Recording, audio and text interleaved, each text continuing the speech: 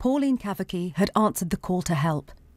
An experienced nurse, she'd volunteered to spend five weeks treating Ebola patients in Sierra Leone. But within hours of returning home, she was diagnosed with the disease. Today, the specialist medical teams at this London hospital said she had deteriorated to a critical condition. Miss Cafferkey had flown out with the team from the charity Save the Children. Before she set off, she spoke to BBC Radio Scotland about her instinct to help. For me, it was kind of a natural thing. I couldn't think of any reason why not to go. I have experience in the past before. I've done aid work. I've worked in Africa. I didn't really think about it actually. Just, just done it.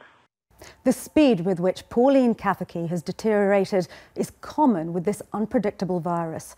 She flew from Sierra Leone to Casablanca and arrived at London Heathrow on the 28th of December.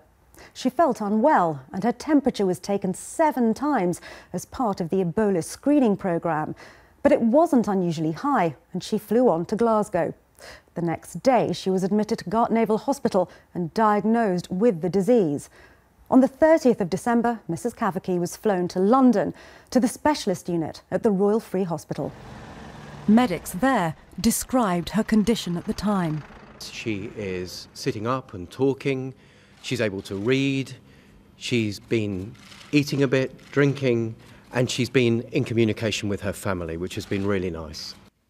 Since then, medics have been treating Mrs. Cafferkey with a combination of an unnamed experimental drug and blood plasma drawn from patients who survived the virus experience uh, with Ebola patients who've been treated with these things is patchy and, and very limited. We really don't know how well they're going to work.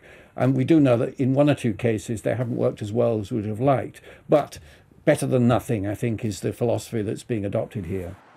The coming hours will be crucial for the 39 year old, whose family is being kept closely informed. Sangita Myska, BBC News.